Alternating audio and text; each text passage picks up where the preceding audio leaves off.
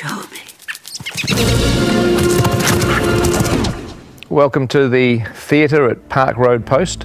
This is our post production facility in Wellington, and this is where we're spending a huge amount of time at the moment just working on getting The Hobbit finished. It's due to be completed literally two days before the premiere, hopefully. so we'll give you a look at where we're at with post production. You're going to see a lot of sleep deprived people in this blog. Everyone's working around the clock to get the film finished. So everything begins at editorial. So here's the bunker editorial. I am Dan Best. I'm the first assistant editor on The Hobbit. So next door to us is the cutting room. Jabez and Peter are in there busy cutting film two at the moment. We were shooting this with 150 people on the set, and then here we are sitting here, and it just comes down to Jabez and I, two of us, the last two men standing, uh, get to edit the movie. So it's quite a relaxing and enjoyable process. And while you're putting that together, I'm going to make, make another cup of tea. When Jabez has something very simple to do that doesn't need me around, I get the cups and go make a cup of tea and come back and it's all done. Very good. Hey, welcome to Previs. Come on in. Christian's just down this way. We're sort of the front end creative team that Pete uses to design a lot of his shots. We are animating the camera and the characters around to form what's kind of like 3D storyboards, almost at a video game level. Typically, you do your previs before your shoot. Obviously, they finish principal photography and we're still prevising a few shots. We've just got a, a, shot turned over from Peter. This is what we get from editorial sometimes. Basically, we get a, a blank card that says something like CG wide shot, goblins slowly move torture machines towards the Great Goblins platform. And we've got to turn this stuff around pretty quickly. There's Christian over here at uh, our Previs. We just got a shot turned over that we need some torture machines. Cheers, thanks. Yeah, usually they're pretty quick. Here we go. We have from Weta Workshop some torture machine designs. We need to get these modeled pretty quick, guys. That'll only be a minute or two. Yeah, a minute. Jerry, what are you doing? I'm making a 3D extravaganza. yeah. It wouldn't be a good shot if it didn't have sound effects though. The model's coming through yet? Yep, here it is. Jerry, can we get textures on that? Oh yeah, sure, no problem. Already on it. Already on it? Almost done. So the thing is, you know, I've got to turn the stuff around pretty quickly because, you know, the film delivers in like eight weeks. What do you do there? Uh, I just stare at code all day. So Iggy, uh, yeah. you got your torture machines. How's the shot going? Yeah, sorry it took so long, but uh, I think this is gonna work. Yeah? Okay, cool. No, looks pretty good. We should we should send it to Pete and see what he says. Cool. It'll be a really cool cool moment. Okay. That's good, Dave. Yeah. We just got PJ notes. We're off to um, talk to a few of the supervisors about what we have to do now on a few extra shots. This is the original building that we had on Lord of the Rings. For Hobbit, now we've expanded to eight different buildings. It used to be an insane asylum, right? Yes, this used to be an insane asylum, and still, days like this, it feels like it even so. We're at the six and a half week mark. Um, not much time left to finish this one. We're at Wexford Road now. This is the original production office for Lord of the Rings, but now it's the home of all the animators for Hobbit. So the troll sequence, definitely one of the biggest animation challenges. They're speaking, which is something new for trolls. Are there any more of you little fellas hiding where you shouldn't? No. In rings, they're always only ever kind of grunting. Peter shot it live action on the mocap stage. Are any more of you little fellas hiding where you shouldn't? Pete liked the action, but wanted to go a little bit bigger on what the stunt guys were doing. So maybe we do a custom mocap shoot for just those bits. That felt good. I'm happy with that. Okay, should we move on? We've advanced the art of motion capture uh, quite substantially on The Hobbit, uh, including the detail of motion capturing individual hairs of dwarfs' beards. Come on in. Welcome to the Department of Internal Beard Hairs. We're going to tell you a little bit about what we do here. Kev, can we get you to paint, please? Having beards on set is rather dangerous. Incredibly dangerous. We've lost a lot of good beards. That's right. So we've created a virtual beard in the computer, and what that just allows us to do. Whoa, layman's terms, please. Sorry, sorry. We um we have a beard in the computer. Motivation here. It's dark. It's stormy. Okay. You're in the mountains. Action. Wind. Rain. Lightning bolts. And cut.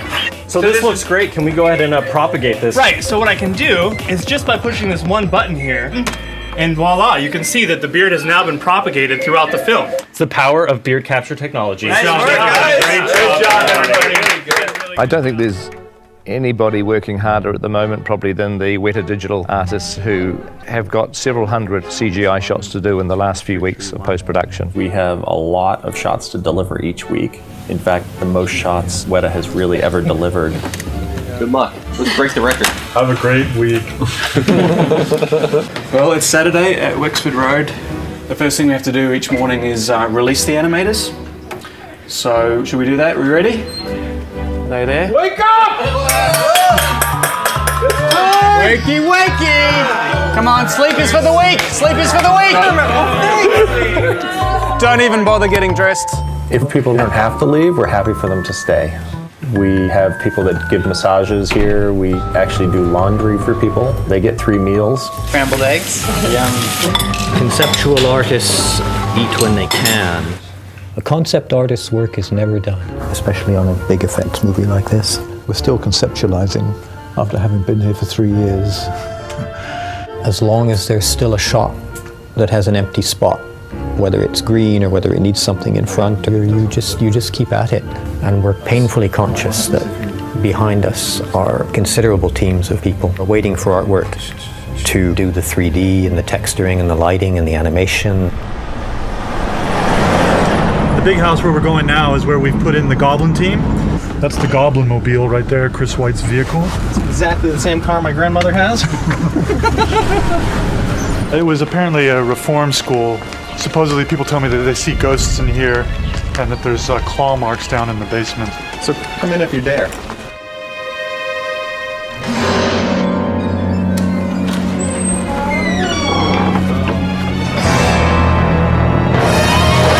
So what Peter was looking for was to create this this whole world underground. So we're creating this goblin town with all these different structures and light and walkways and fires. And so this is some of the work in progress.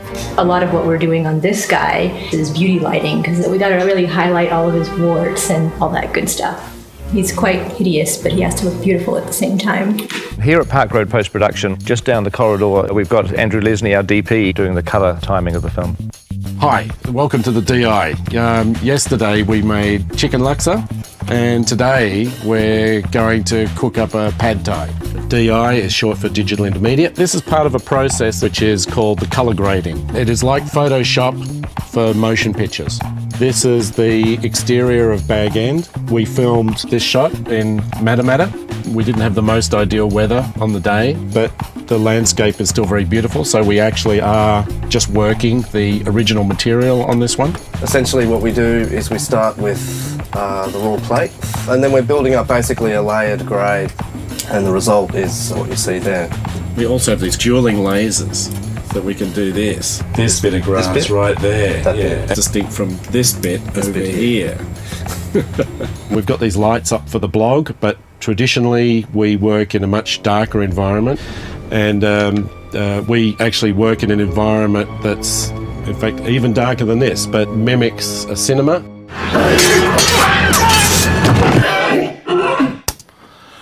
Uh, hi, uh, you're at Park Road Post, and uh, this is where we're doing the sound for The Hobbit. Uh, let's go and have a look.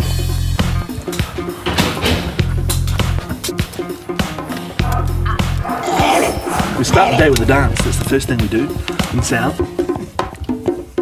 And we hand it on. Chris, take the floor. We do the fader dance. Fader dance, yeah.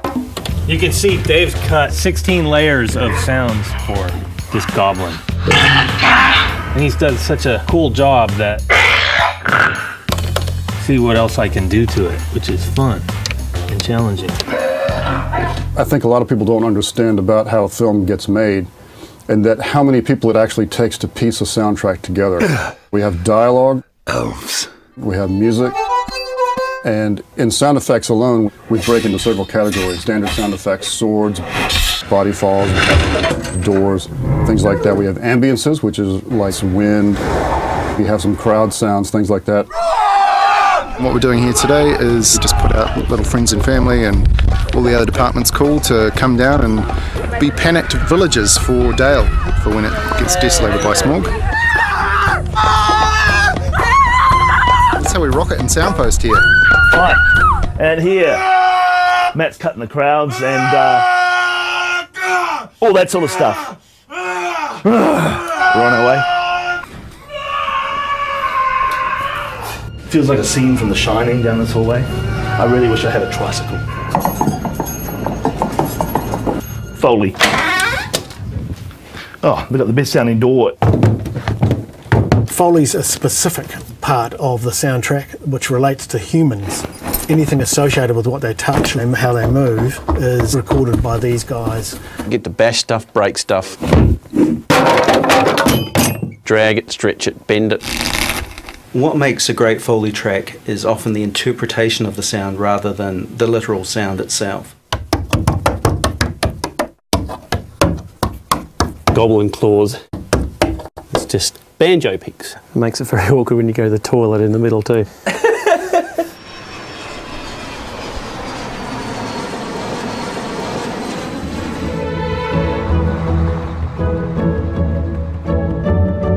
Welcome to Abbey Road, Studio One. This is the place where we make all these fabulous soundtracks, including The Hobbit, and that's what we're doing today. We're back in the studio for a record day. Full orchestra today. There'll be 93 people in the various sections. This is Howard's conductor's podium. So this is where he stands and directs the orchestra from. Abbey Road is legendary with its microphone collection. So here's one that John Lennon sang into when he was a recording artist at the studio. I've never had a shot with one here. So look, can you get that? The musicians will see the music for the first time. They don't rehearse it or anything like that. They just turn up, sheet music is in front of them, and they play. This is rather important to make sure these get onto the podium. Here's the control room. It's a real adrenaline rush to be looking out at the orchestra that we're kind of in control of this fabulous sound.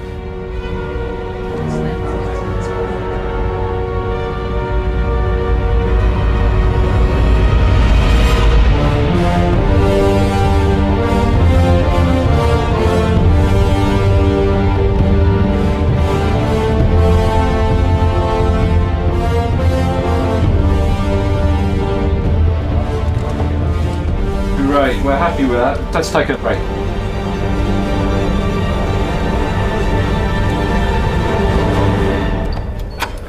Theatre 2. This is the final mix room. This is where it all comes together. Well, look who it is. We all arrive with tons and tons of sounds. Then in the final mix, we have to figure out what sound makes sense and what sound doesn't. You could put a hoarse vocal oh. on the shot to let us know we're there.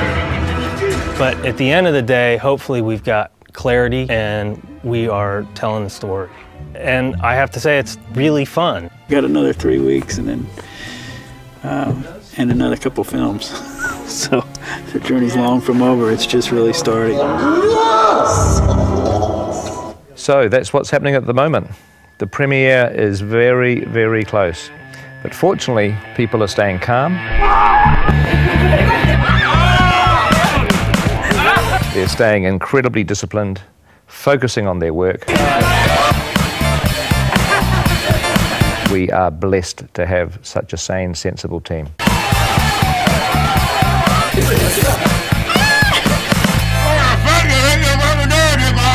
So there we have it. Gives you a taste of where we are at the moment, but we will catch up with you very, very soon and invite you to come along and have a look at our experience at the premieres.